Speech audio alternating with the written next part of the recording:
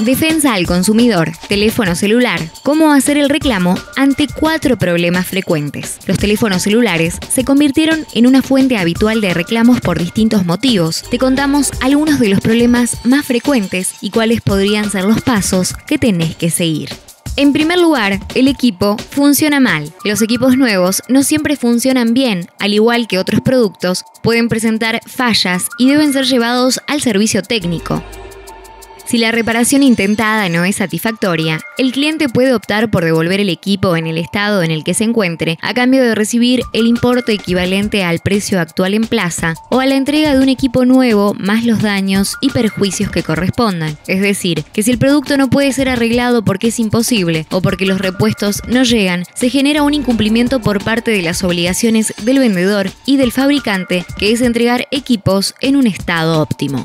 En segundo lugar, la factura no te llega. La Ley de Defensa del Consumidor establece que el proveedor está obligado a suministrar al consumidor, en forma cierta, clara y detallada, todo lo relacionado con las características esenciales de los bienes y servicios que provee y las condiciones de su comercialización en el artículo 4 de la Ley 24.240. Además, la ley dispone que la información debe ser brindada en soporte físico, es decir, que no alcanza con que digan que está en algún lugar de un sitio web porque tiene que enviar la factura, salvo que expresamente tengan autorización del cliente.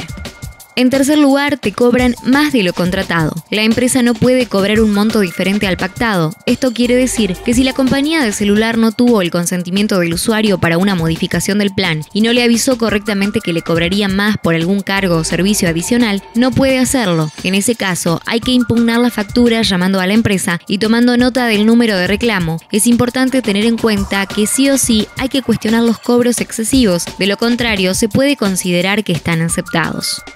En cuarto lugar, las facturas tienen cargos por equipos y o líneas que no contrataste. En los casos en los que la persona detecta que en su factura del celular o en su resumen de tarjeta de crédito para los casos de débito automático hay que realizar alguna impugnación dentro de los 30 días. En los casos que se pueda presumir que se trata de un caso de usurpación de identidad o de estafa, también hay que realizar las denuncias penales pertinentes, atento que pueden darse casos en los que se están utilizando los datos personales para cometer delitos. En estos supuestos hay que hacer los reclamos para que el cargo no se cobre y en los casos en los que corresponda se podrá solicitar una indemnización por los daños y perjuicios sufridos. Se deja aclarado que siempre hay que evaluar el caso específico y lo expuesto no implica un asesoramiento al reclamo puntual, sino solo sugerencias de cómo proceder ante situaciones que podrían considerarse como abusivas. Por Silvana Alonso, abogada, especialista en Derecho del Consumidor.